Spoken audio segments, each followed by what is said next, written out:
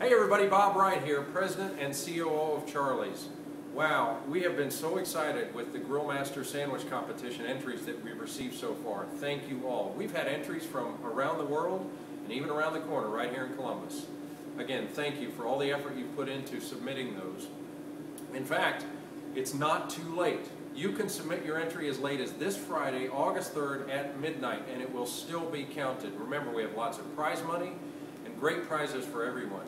Don't forget, our top three entries, we've flown into Columbus to present their creations to our panel of executive and celebrity chefs.